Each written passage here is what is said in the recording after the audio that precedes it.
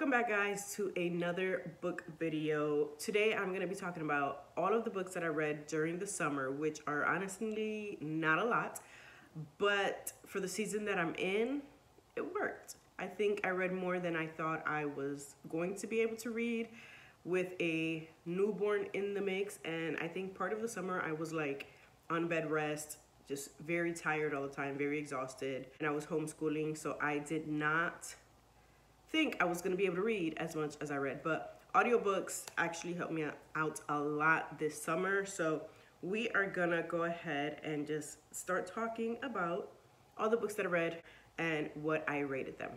So I'm going to talk about these two books together because they do go together. Uh, but the first ones that I read was It Ends With Us and then It Starts With Us. And I really, really did love this book series. I rated both of them a five, according to my Bookstagram account. They were both rated a five, but like in my heart, in the depth of my heart, like in the very, very deepness of my heart, this one is a five. This one is more of a like 4.75 around there just because I feel like with this one yes it's heavy on you know the topic that it's about domestic violence it's a very heavy book but I feel like I was just so much more invested in this book and I think because of the domestic violence trope not that I enjoyed it but just that there was so much to take in and I was fully invested in the fact that Lily loved this man that obviously was not good for her. And so I, I loved it. I absolutely loved it. I cried towards the end of this book. I cried. I was so angry. I was very, very irritated with Ryle. I'm like, dude, get it together. Like, you have a woman, a beautiful woman who loves you, who is trying to like just look the other way and he just never got it together. It was a very, very heavy book, I will say. But I really did love it. Just everything about it I loved. And then the second one, I loved it, but I did not love love it, if that makes sense. I just wanted more from Lily and Atlas's story. Like, I know we get to know more about Atlas in this one, which I did really enjoy, but I just like for their love, their relationship, I just wanted more. It was, they started off very slowly. I love the ending, I will say. But I just feel like for people, for these two people who were absolutely in love with each other since their teenage years, I just, I wanted more from their story. I feel like I feel like Colleen Hoover could have done a little bit better with this one, honestly. But either way, they I rated both of them a five, so that says a lot. The next one was an audiobook um, that I listened to, and it was I Know Why the Cage Bird Sings by Maya Angelou. I'll post a picture up here. And this is like her autobiography, memoir book. Sorry if you guys hear noise. My kids are upstairs playing. But this was her uh, memoir autobiography, and I really did enjoy it. She reads the book herself. She is the narrator. Very tough topics to listen to as well. This book does mention rape. And I remember I was listening to this in the car with my daughters because at first I didn't think it was going to honestly say anything that was not appropriate for a kid's ear. But as it started like building up, I'm glad she built up the story the way she did because I was able to figure out, okay, this is going a way that I don't want the girls to hear. So I ended up just turning it off. So I will say this book you do have to read or listen to on your own, not around children, just because it touch it does touch the topic about rape and just other topics. Um, but that was one of the main ones that really stood out to me. But I will say she reads this book, she narrates this book very poetically. Like it's not poetry, but I don't know if maybe it's just the fact that I know that she does poetry or she did poetry and I just heard her in a poetic way. I don't know, but she narrated the whole story in a very poetic way and I absolutely loved it. Um, I rated this one a four star. Next is two, I'm gonna do these two together as well. Um, these two books, the Housemaid series by Freida McFadden. She she has literally become one of my favorite authors now. Like I had heard of her, never picked up a book, but I was like, this one, like, it's so popular. Everyone's reading it. Let me see what the hype is about. And I loved it.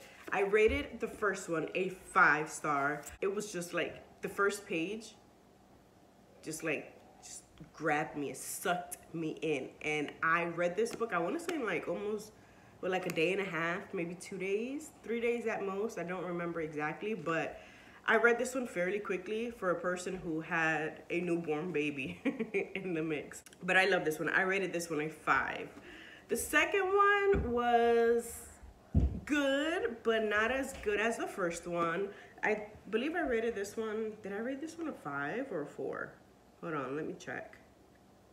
Okay, so I rated this one a 4.5. And like I said, it's not as good as the first one. I feel like the first one was the best in the series. I have not read the third one, but I'm actually very, very hesitant on reading it because just like she went, ooh, and then came all the way down. So I don't know. If you've read the third one, leave a comment below. Let me know your thoughts. I'm hesitant on reading it. Like I said, this one was a 4.5. It just it didn't suck me in as much. And I feel like now that, what's her name? I forgot her name. What is her name? Starts with an M. Nina, or N, Nina. Okay.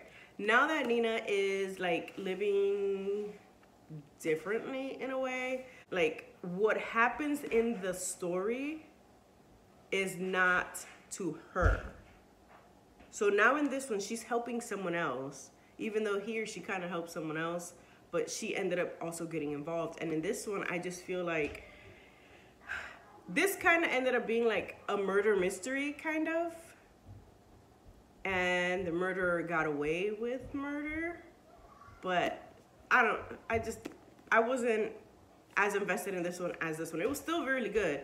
But this one, like, I just indulged completely in. So if you read the third one, let me know in the comments what you think. Should I read it? Should I not? Should I give it a chance? I mean, I was thinking maybe if I do end up reading it, I'll probably just get it from the library instead of buying the book. But at the same time, I just, I can't have a series sitting on my bookshelf incomplete. So I'm thinking of just buying the book and reading it. And if I don't like it, well, too bad. Okay. I need a sip of coffee. And I gotta look at the next book. I'm trying to go in order, guys. All right, the next book was actually a DNF, and it was The Power of a Praying Wife. And I read, I want to say I read about half of the book, and then I was like, okay, I'm to DNF it because it was taking me really long to read, and I just, I was not very invested, very interested in the book. It's not to say that she did not have good points because I did do some highlighting in the book. I took some notes, but I feel like it was just very surface level. Like she had the prompts and then okay, we're praying for our husband's finances, okay? But it was just very, very like surface level. I feel like she did use scripture, but I'm like, you could have gone so much more in depth on these topics and why you should be praying for them, how you should be praying for them. And it just, it did not give me more. It did not give me what I wanted out of it. So when I realized, I finally like, you know, something rang in my head and was like, okay, Cynthia, enough. I was like, I gotta put it down. I, I really wish she could have just gotten more deeper into the conversations. Like the chapters were super short, maybe one or two pages long, and then she would give you some like uh, scriptures to like to read off or to pray with, and then she would also give you a prayer. So she would like write out a prayer, and it's good. I'm not saying that the book was bad, but I just I wanted more. I did not get more, so I did DNF it about halfway through. And I, I honestly don't think I'll be reading another Stormie Omar Martin, Martian, another one of her books, honestly. Okay, the next one was also an audiobook, and it is Solito by Javier Zamora. And I rated this one a five star. If I could rate it more, I honestly would. And this is a nonfiction memoir about Javier's life, about him crossing over from El Salvador to the United States to meet up with his parents again. Throughout this entire story, he is, what, eight or nine years old, and he talks about everything that he encountered crossing over. So he went from country to country. And it's just, it's a story that I want to say I, I related to, not in the sense that, I mean, I'm Puerto Rican, my family is from Puerto Rico, but my husband, um, his mom's family is from El Salvador, and then his dad's family is from Honduras.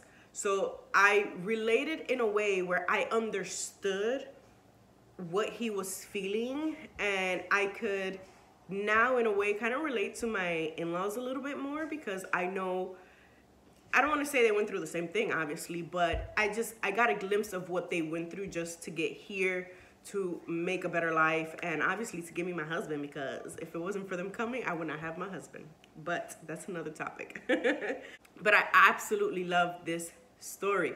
Javier narrates the book himself. He is heavy on the Salvadorian accent but it was really really good I cried I laughed especially when I heard like certain words that he would use that my, I've heard my in-laws use so I don't know. It was it was a really good book. I absolutely loved it. And if I'm honest, probably one of my favorite books of the year so far. Okay. Next is another audiobook, College Girl Missing by Sean Cohen. And he is actually a reporter about this story. This is actually a true story and it happened here in Indiana about an hour and a half from where I live. This story takes place in Bloomington. It's a true story where a college girl goes missing and apparently nobody knows what happens to her, but there were a lot of people that played a part. Excuse me. There were a lot of people that played a part in her disappearance, not so much that they made her disappear or that they did something, but just there's pieces of the puzzle that does not add up because there's people that saw her last, like she was in somebody's apartment and then she left that apartment and then from there she disappeared. So did she really leave the apartment? There's just so many details that this reporter who reported on the story when it happened back in, I believe this was 2011, um, and then things he found out after the fact because he kept digging in. He kept digging into the story, trying to figure out what happened to this girl. But it really kind of like, it jogged my memory and it made me remember when this was on the news back in 2011 when I first moved to Indiana. So really good story. Um, not story, but you get what I'm saying. It's a good book. I rated it a four star because it was super short, super can't even talk now.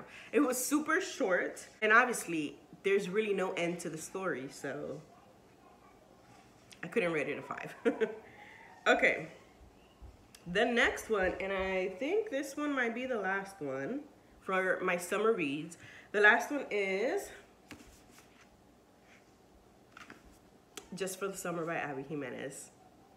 This is the second book I read from Abby Jimenez and I'm in love with her writing. I love, love, love. The first one I read was Yours Truly, and I fell in love with her writing then. This is the second one. I have to get the first one in the series. I I read it out of order because I read the second one and then this one. This is the, what, what's the series called? I forget what it's called. I don't remember. But it's part of like a three-part series.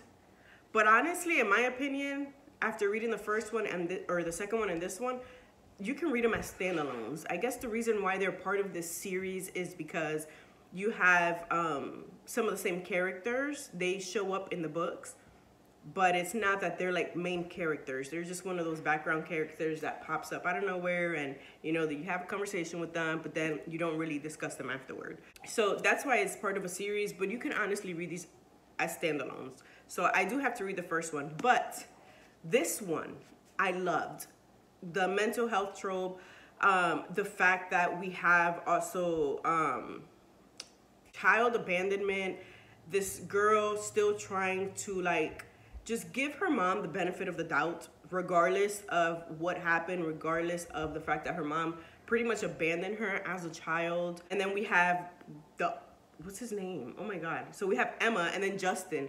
Justin, whose mom ends up going to prison for something that she did after her husband's death. And it's just like these two people have so much going on in their lives. And, you know, it's a fake dating thing. They meet online on a Reddit thread and they decide, hey, let's let's fake date for the summer and see what happens. But it was not that they end, they wanted to end up being together. They wanted to find their soulmate after the fact. But I don't even know why I bother. I mean, they, they, you know how this book is gonna end, okay? Let's, just, I'm just gonna zip it. You know how it's gonna end. I absolutely love it. There's nothing more to say. I love Abby Jimenez, love her writing. Love her books. And this one was a five star and another one of my 2024 favorites. So in total, I read, let's see how many books I read this summer. I got one, two, three, four, five, and then I have six, seven, eight, eight books that I read, one DNF. So nine books in total that I went through this summer, right? Yeah, nine books that I went through this summer. I think I did really good this summer reading. Again, I read more than what I thought I was gonna read. So that's a good thing. But here is my lovely stack of physical books. I'm trying to pick them up. So I'm gonna use this as a thumbnail, which is why I kind of like flip some of the books over, but yeah. So thank you guys for watching. Stay tuned because I am trying to create more content for this channel. It's just, it's been a little hectic. I have a newborn, he's gonna be two months.